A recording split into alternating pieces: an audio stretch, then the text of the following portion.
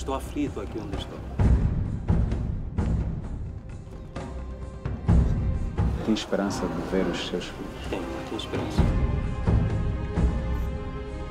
Eles sabem que está preso? Sabem.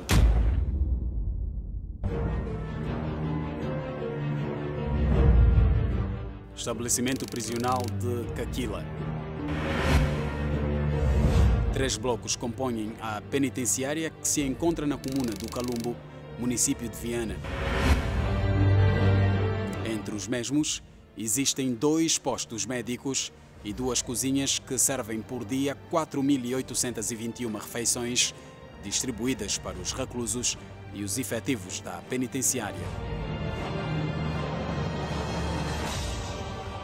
E não é tudo. Até uma padaria aqui encontramos. Daqui saem 1.500 pães todos os dias. A segurança do centro prisional é garantida por 447 efetivos, dos quais 100 são do sexo feminino.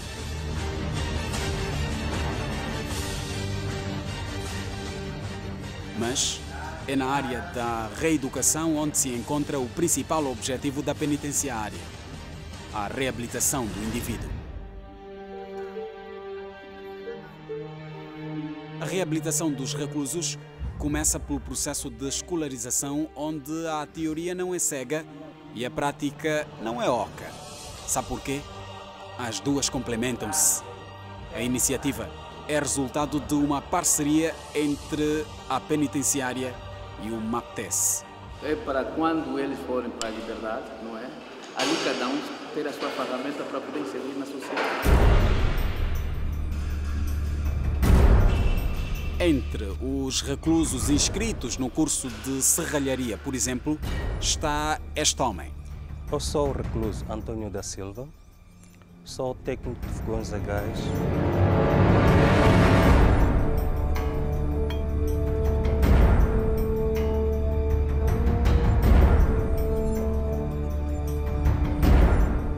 Aos 42 anos de idade, há três anos e meio que António cumpre a pena de que lhe foi dada em tribunal. Cinco anos de cadeia é o tempo de que lhe foi dado a cumprir pela Justiça. A saída do tribunal até a própria cadeia de Viana, eu vinha chorar.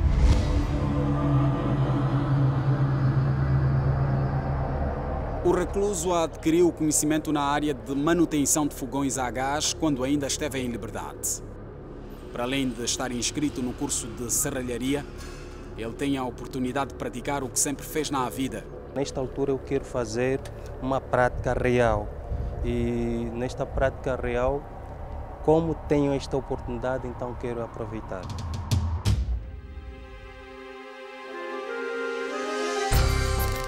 Com capacidade para 1.400 reclusos, a população prisional de Caquila até a data da nossa reportagem era de 1.160 reclusos, 900 dos quais são condenados, enquanto que 260 aguardam pelo julgamento. Aqui é um lugar fechado e lá fora é, é aberto.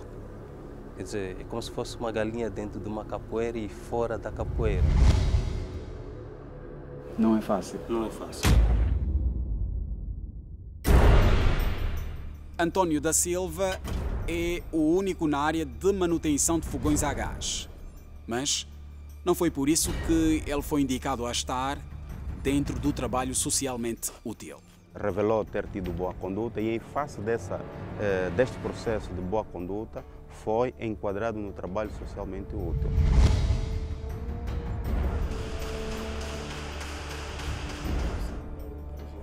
A avaliação dos profissionais da área de reeducação da penitenciária em relação ao comportamento do recluso é das melhores.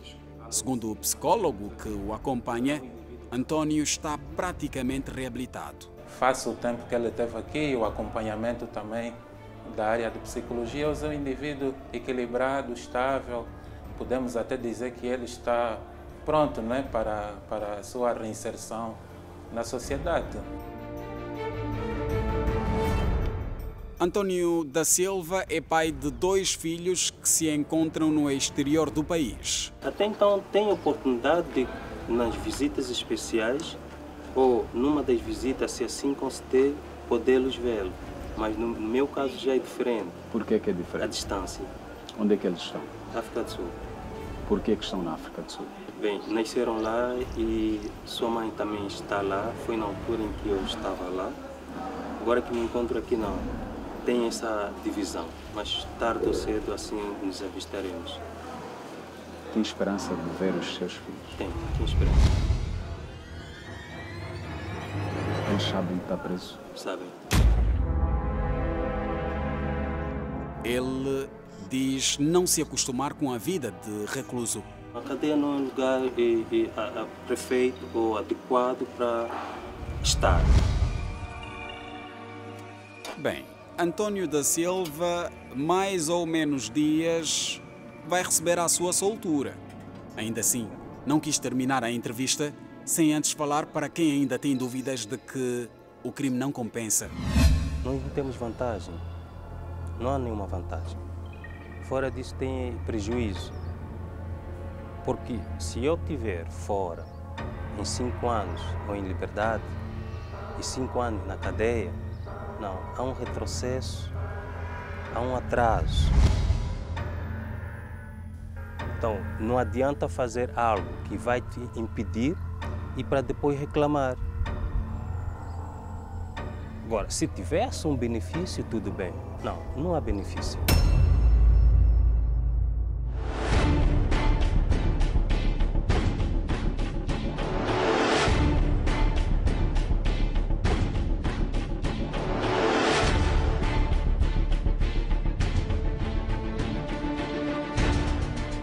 Última reportagem da série O Crime Não Compensa, este homem que não vê a sua família há mais de 15 anos. uma perca, Perca de quê? perca de, sei lá, tempo. Isto e muito mais para ver na próxima semana.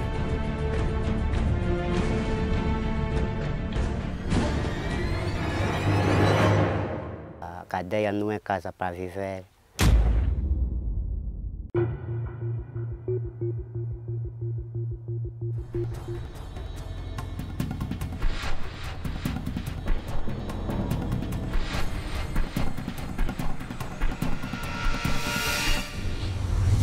É o depoimento de quem na primeira pessoa sente as consequências eh, do crime. Doutor Alcântara Costa, enquanto criminalista e tem acompanhado estas reportagens eh, desde a primeira, qual é a avaliação psicoemocional que faz destes reclusos, em particular este último?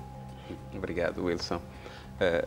É indubitável pensarmos que, observando bem o António da Silva e trazendo aqueles argumentários que têm a ver com os interesses psicoemocionais de qualquer indivíduo, pode-se declaradamente afirmar que o António José está reabilitado. Quer dizer que todos aqueles eh, vocábulos de reeducação, readaptação, reinserção e ressocialização já colhem no corpo do António da Silva. Portanto, o crime nunca compensará. Nunca.